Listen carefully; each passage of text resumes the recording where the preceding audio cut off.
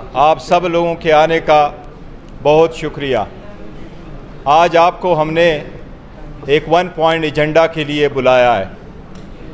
आपको पता है कि हमेशा हम आपके साथ इलेक्शन के फेयरनेस पे बात करते हैं और आपके नोटिस में पहले भी लेके आ चुके हैं, लेकिन आज मुझे एक बात पे ज़्यादा खुशी हो रही है कि leader of the opposition in the national assembly Umar Ayub Khan साहब भी साथ है।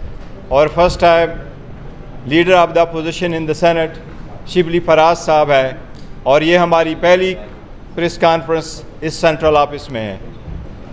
हमें इससे ज़्यादा खुशी होगी जब खान साहब आज़ाद होंगे और हम सब आपके सामने ऐसे आएँगे इन ताला। आज आपके सामने वन पॉइंट एजेंडा इलेक्शन के फेयरनेस पे हम रख रहे हैं। आपको पहले हम बता चुके हैं कि जब जनवरी में हुकूमतें ख़त्म हो गई हमने तीन पिटीशनें सुप्रीम कोर्ट में फ़ाइल कर दी। सात पिटीशनें हाई कोर्ट में फ़ाइल कर दी।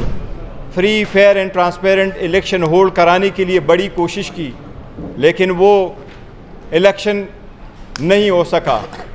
आखिरकार सुप्रीम कोर्ट के इंटरवेंशन से प्रेसिडेंट ऑफ़ पाकिस्तान और इलेक्शन कमीशन के माहदे में 8 फरवरी को इलेक्शन का दिन तय हुआ। लेकिन उससे पहले कि इलेक्शन का शेड्यूल अनाउंस हो या इलेक्शन हो उसी दौरान हमें कोई लेवल प्लेइंग फ़ील्ड नहीं दिया गया। इलेक्शन के दौरान प्रपोजर सेकेंडरों को रोका गया। नामिनेशन फॉर्म फ़ाइल करने से रोका गया। फ़ाइल हुए तो टेक्निकल बुनियादों पे डॉक्यूमेंट्स रिजेक्ट हुए। लेकिन फिर भी हमने ज़्यादा से ज़्यादा कैंडिडेट्स फ़ील्ड कर लिए। इसी दौरान आप लोगों ने देखा कि कंस्पेरेसी के नतीजे में हमारे इंट्रा पार्टीज़ इलेक्शन को एक्सेप्ट न करते हुए भी हमसे बल्ले का निशान लिया गया। और मुख्तलिफ़ निशानात बैंगन अलाट किया गया, चमटे अलाट करवाए गए। लेकिन अल्हम्दुलिल्लाह लोगों ने निशान पहचाने और वोट में पार्टिसिपेट किया। हम बॉयकाट की तरफ़ नहीं गए। हमने पुरमन तरीके से अपना स्ट्रगल जारी रखा और अल्हम्दुलिल्लाह आठ फरवरी के इलेक्शन में फुली तरीके से पार्टिसिपेट किया। आठ फरवरी को भी न इंटरनेट, न सेल फ़ोन और ये आपको एक फिगर दूँ कि 200 266 कंस्टिट्यूंसी में से 135 कंस्टिट्यूंसी में इवन इंडिपेंडेंट ऑब्जर्वर नहीं जा सके। इसके बारे में आपको मालूम है, जब इलेक्शन हुए तो एक टेक ओवर करने के लिए फार्म 45 के मुताबिक नतीजा अहज नहीं किया गया। फार्म 47 को बनाया गया उसमें हमारे व्यक्ति को डिफीट में बदला गया।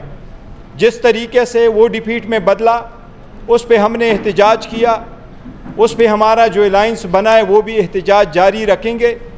हमने बार बहा कहा इलेक्शन कमीशन को कि उसका नोटिस लेते हुए जल्द से जल्द इस पर फैसले करे जो पिटीशन है आपके पास आई है।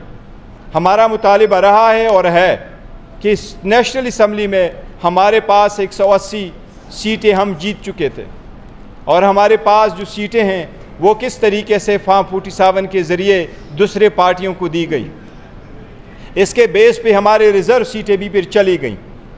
लेकिन जो सीटें मिली और फार्म फोर्टी सेवन पर हमें डिपीट करवाया गया, उसके सिलसिले में एहतजाज के ज़रिए कुछ नहीं हुआ।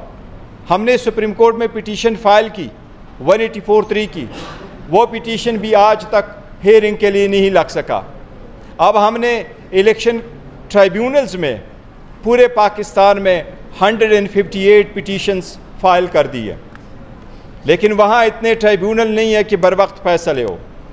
इन सब बातों पे आज हमने फैसला किया हुआ है कि एहतजाज, ट्राइब्यूनल, सुप्रीम कोर्ट, अदालतें और अलायंस के जलसों के साथ आज हम पाकिस्तान तहरीक इंसाफ के बिहाब से आपके सामने एक वाइट पेपर इशू करने जा रहे हैं। और ये 300 पेजेस तकरीबन पे मबनी वाइट पेपर है, जो हम जनरल इलेक्शन 2024 पे इशू कर रहे हैं। ये उन हकाइक पर मबनी है, जो हकाइक the Guardian Washington Post New York Times the Times और पाकिस्तान की इंटायर मीडिया ने एडमिट किया है।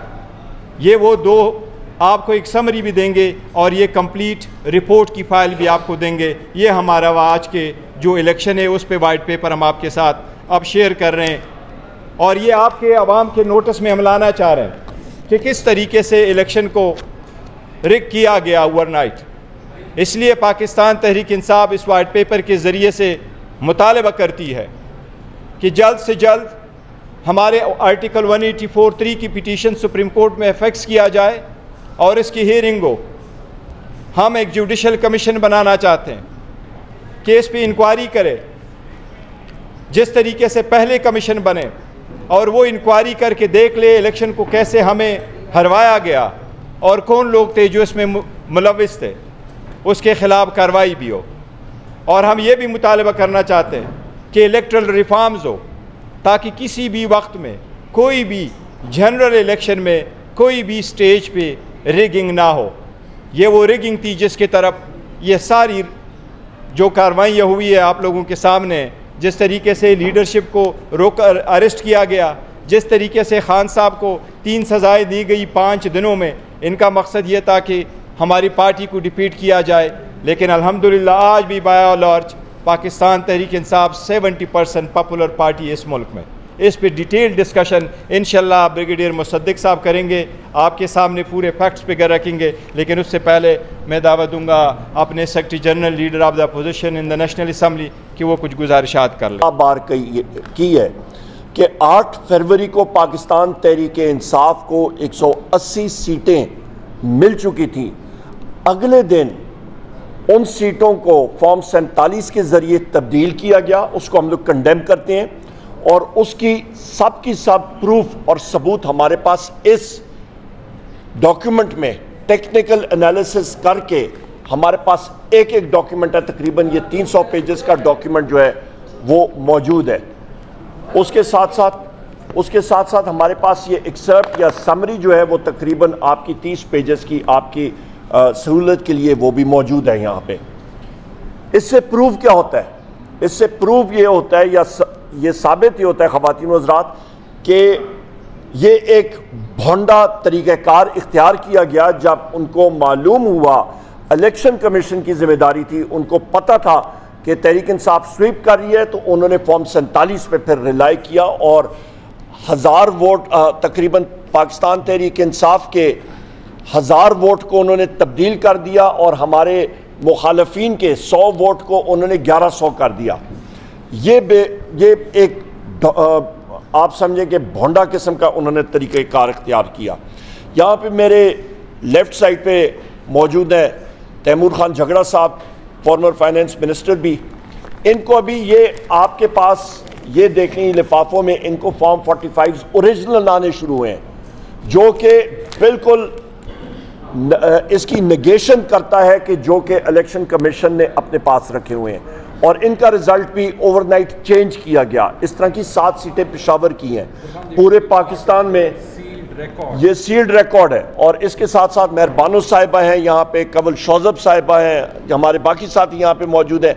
सारों के रिज़ल्ट जो हैं वो तब्दील किए गए हैं। हमारे ये साथी मौजूद हैं हमारे साथ। इसके साथ साथ मैं यहाँ पे ये भी कहता चलूँ ख़वान हजरात ज़िम्मेदारी जो है वो किसकी है? इस सारी चीज़ की। इलेक्शन कमीशन को अरबों रुपए दिया गया था कि वो free and fair election conduct कराएँ। चीफ इलेक्शन कमिश्नर और उसके साथ उनके कमीशन के जो हजरात हैं, जो मेंबर्स हैं, उनको फिलफॉर मुस्ताफ़ी होना चाहिए। ये हमारी डिमांड है। इस फोरम से भी हम लोग करते रहे हैं। करते रहेंगे जब तक वो मुस्ताफ़ी ना हो, क्योंकि उन्होंने अवाम की अमानत में खुलम खुला ख़यानत की है। और जिस कैंसर का हमने पहले दिन से उसकी निशानदेही की है ख़वान हजरात, उस कैंसर को पाकिस्तान के जिसम से निकालने के लिए ज़रूरी है कि सही तरीके से कीमोथेरेपी या फिर रेडियोग्राफी होनी चाहिए कि उस कैंसर को हम लोग अपने अंदर से ख़त्म करें, क्योंकि ये कैंसर फैलेगा मुल्क में खुदा न खास्ता आगे इंतशार ही फैल, फैलेगा और कुछ नहीं होगा, क्योंकि लोग इलेक्शन प्रोसेस में यकीन ही छोड़ रहे हैं। और आखिर में मैं ये सिर्फ़ बात करूँगा और फिर शिबली फराज साहब बात करेंगे कि बैरिस्टर गौर साहब और मैं, हम लोग पंजाब की मुख्तलिफ़ बाई इलेक्शन में भी मौजूद थे और जिस तरह वहाँ पर मैं एक बार फिर बात करता चलूँ कि आपके चार मीडिया के लोगों को तशद किया गया, जिसकी हमने निशानदेही की और वहाँ पे पुलिस की वर्दी में इंटेलिजेंस एजेंसीज के लोगों ने उन मीडिया के हजरात पे तशद किया।